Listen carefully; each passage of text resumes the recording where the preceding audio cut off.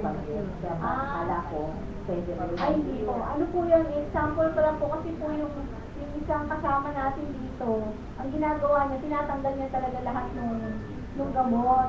Kasi di ba nagtatanong yung iba kung pwede raw tanggalin yung mga present medication. Um, as a doctor, syempre hindi ko ina-advise na tanggalin lahat. So, isabay muna. Pero siya kasi, maganda yung ginagawa niya. Kahit ako eh, ginagawa. Dahil doctor ako, alam ko yung symptoms kung kaya ba ng product natin o hindi. So, recently lang meron akong experience na hindi ko muna ginawa yung medical management na alam ko. So, nagka-sore eyes yung dalawang anak ko, sabay sila, sobrang maga yung mata. Ginawa ko lang, sige, sabi ko nga, lagi kong tinatry ang ating product. Yung isang capsule ng Moringa Cure, inisolve ko sa milk sila. Isang capsule lang hati na sila. The next day, alam niyo naman kung gaano katagal ang sore eyes, di ba? The next day, clear yung mata nila. Ah, gaano mo kabilis ang effect kapag ka nagtitake ng jumping sa diabetes? So, sa study, according to study, nagkakaroon ng significant decrease 40%. Depende sa taas ng blood sugar po niya. So, 40% nun, bumababa po in 2 hours.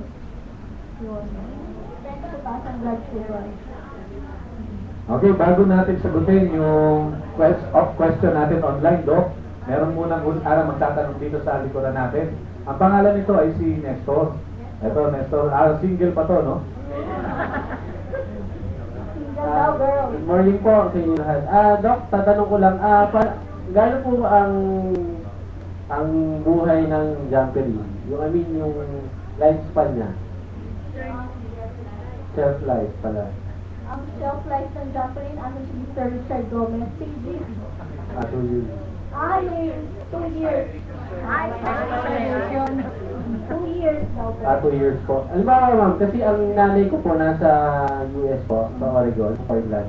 Ano po yung kailangan nating requirements para mabawa ako po, papadala ko siya doon. Kasi alam naman natin, kasi sabi ng nanay ko, ayaw mo na mag-stay kasi nga, natatakot siya baka sitahin. So, ano yung mga possibility na pwede nating gawin para mapadalang ko siya doon? Apo na, um, meron pong sumagot niya last time eh, yata naka-yellow na girl. Uh, kaya, ayan, dahil, ayun po ako sa expert sa mga export. Pero refer ko po kayo sa kanya. Ma'am, ano ba? Yung jumper rin po, halimbawa kasi ang nanay ko, high blood, at, at the same time diabetes, tapos malabo yung mata.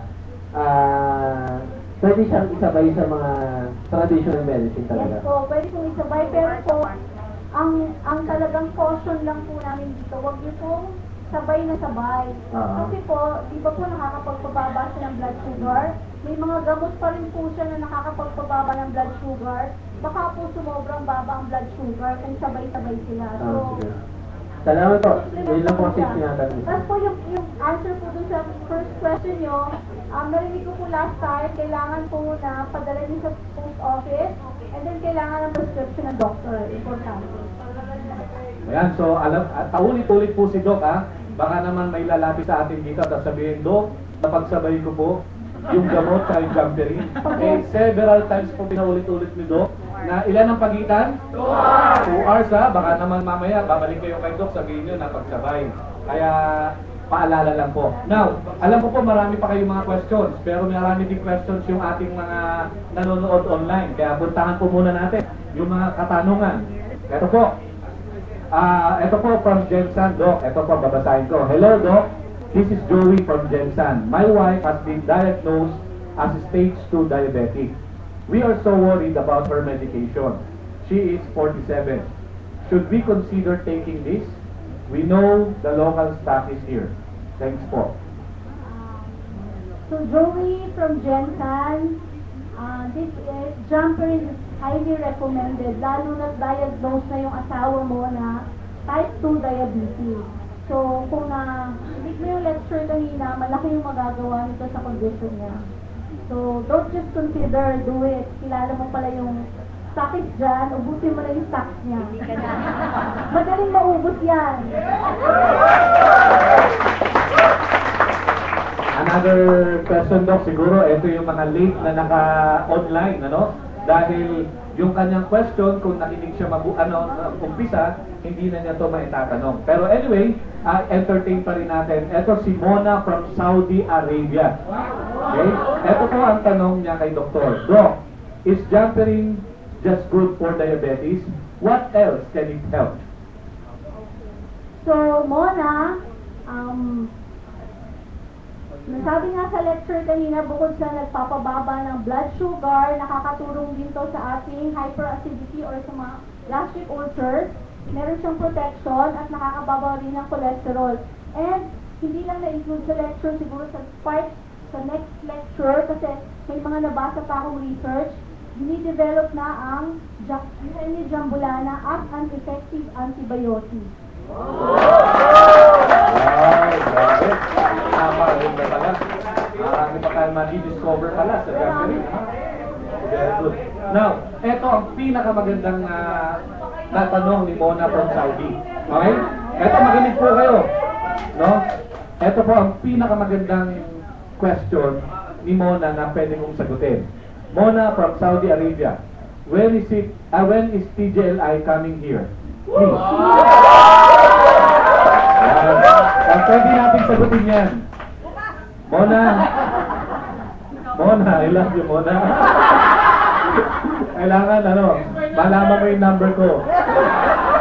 So, I'm just kidding. Pero, alam niyo po, open po ang, ang mga bansa.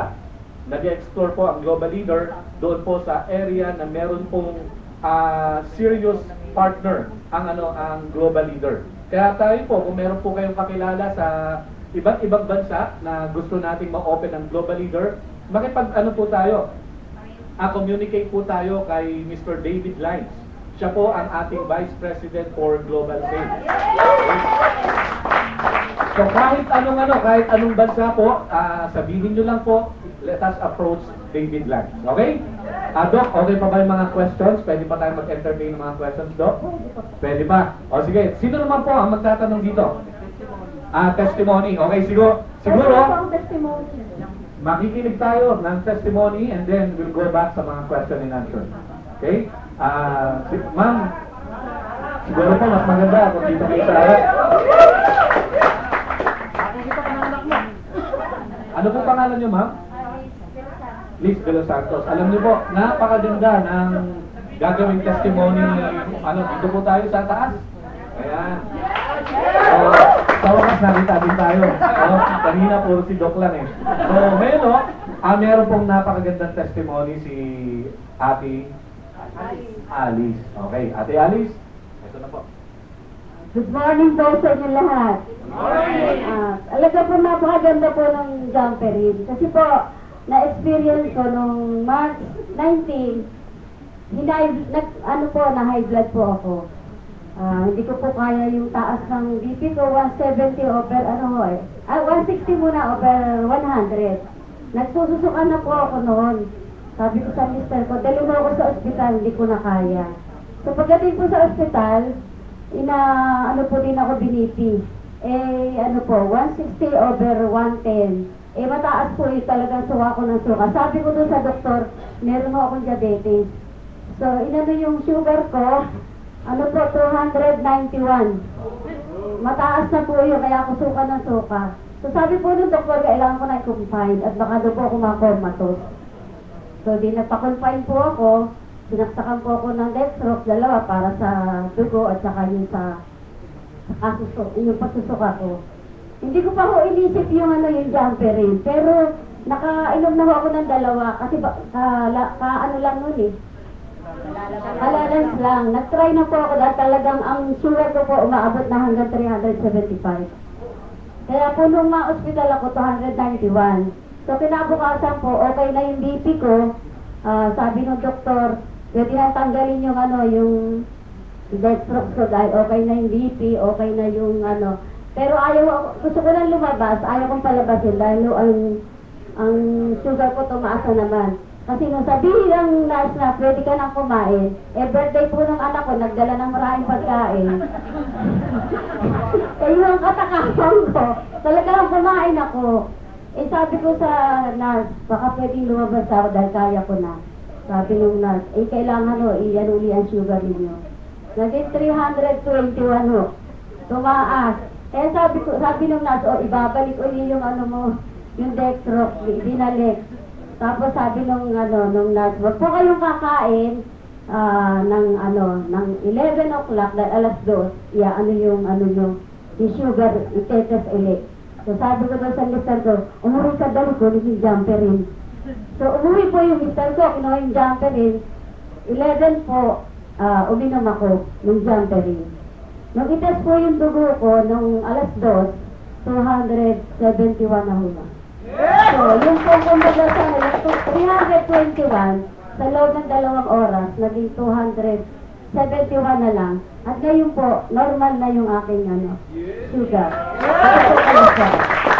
Ngayon po, maraming salamat.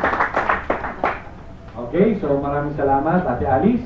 Another testimony po, no? Napakaganda po itong testimony ng tatawagin ko.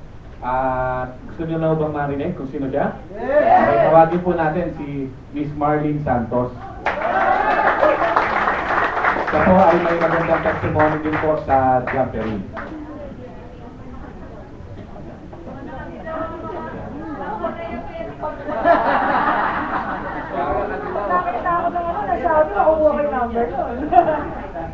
okay, good morning. Ah, Okay, uh, Martin Santos from Cavite. Ah, sabi nga, isa po akong uh, medtech, okay, by uh, profession, and uh, iridologist. Actually po, ah, ako po yung unang-unang guinea ng Jampery. Ah, the, the first na nakatikim po, wala pa po sa capsule yung ating jumpery. Ah, natawa si Baby. Pinagsasagaan po ng husband ko yan kasi nung pag binibigay sa akin yan ni Richard noon, ah, actually kung paano na ibigay po sa akin, alam niya ng karamihan ano, inatake ako noon, ang sugar to doc is around 400. Ah, kasi po medyo may lahi. Nung nagtatanong ka do kanina kung sino yung may anak na malaki, ang anak ko lang po naman yung bunso ko was ah, 11.2 pounds. Ah, Ganun kalaki. Ganun ako kalaking babae talaga. No? 11.2 pounds. So, doon po nakuha ko yung aking diabetes talaga. Yun yung aking career talaga. Yung bata. ganun do. Ganun ba? No? Sinisi pa yung bata. Okay. So, from there, nung inatake po ako ng 400, ah, before that, I was taking na Pure, Moringa Pure, and Samba Pure. Wala pa po yung jumpery natin. Okay? Pero nung atake ko po ng 400, sinabayan po yan ng uric acid with above above normal and my triglyceride with 400 also. Okay, so tinakbo po ako ng ah, ah, anak ko sa hospital na isang nurse. So, yung time pong yun ay naatake na pala ko, ibig po nag tumataas ng sugar ko ng 400, with trigly na 400, ang pain lang po naramdaman ko is kapirasong kapiraso sa bato. Pero nung pagdating ko po sa hospital, ah, nagulat ako kasi ang nag-emergency yung mga nurse at saka yung medtech. Siya na po yung nagtataranta kasi nakita nga nila yung resulta ko masyadong mataas. Pero wala pong pain masyado. Why? Because of yung produktong iniinom ko na nauna. Pure, Moringa Pure, and Samba Pure. Okay? So, nung nalaman po ni Richard na inatake ko niyan, di meron siya sabi niya, Marlene, ah, may ibibigay ako sa iyo na produktong ilalabas ko na napakaganda, pero wala pa ito sa capsule, nasa ah, plastic pa lang po. Uh, ang bilis niya, tigas eh. Ang tigas niya talaga yung ating jumper reel. So pinagsasagaan po kapiraso lang. Nung pumunta ako dito, unang binigay niya, at ang sugar ko na dasa after a week na inatake was 399. Ang taas pa rin daw, ba? 399. Okay? So, binigyan po niya ako ng kapiraso-kapiraso sa isang kutsarita. Tapos sabi niya, sige, inumin mo. Teka, take, uh, chinek niya yung sugar ko, ano, 399. So, take ko po. Then, after 2 hours, sabi niya, balik ka sa akin. I-check ulit natin yung sugar mo. Ah, yung 2 hours na yun, meron tayong ah, seminar po dito. So, nakinig muna ako. Then, after 2 hours, tinawag niya ako. Chinek ko ulit yung sugar ko. Nag-back down siya from 399 to 266. Tayo na po yung effect nung nag-inject ako ng insulin. Pero ano po yung magandang resulta ng jumperin sa akin? Kasi yung drug, di yung biglang baba nung aking sugar, biglang, ha, parang kumbaga nag-hypo. Hindi pa naman hypo yan, no? pero biglang baba ng sugar ko. definitely, ang mararamdaman ng isang diabetiko na hindi naman sanay na biglang bababa yung sugar mo,